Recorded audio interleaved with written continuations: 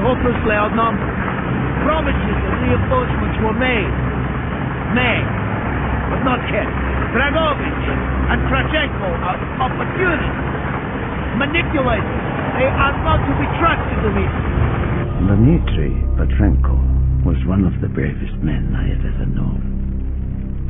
He fought by my side from the siege of Stalingrad to the fall of Berlin.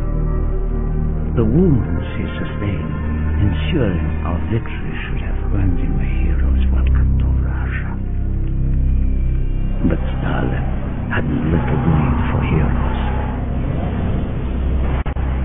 The German must not be harmed. We need Steiner alive. Now move, all of you. Let's go. It is good to fight for your side once more. Yes.